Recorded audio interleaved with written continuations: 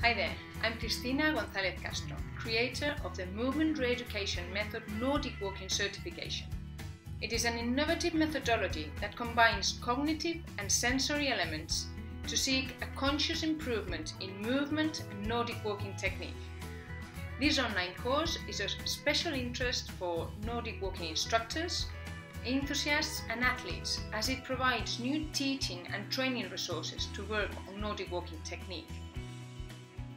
The learning outcomes for this online certification are improving technical skills while preserving correct biomechanics, maximizing forward push, optimizing the applied forces and therefore sporting performance, and finally enhancing the state of mind and readiness of Nordic walkers and athletes.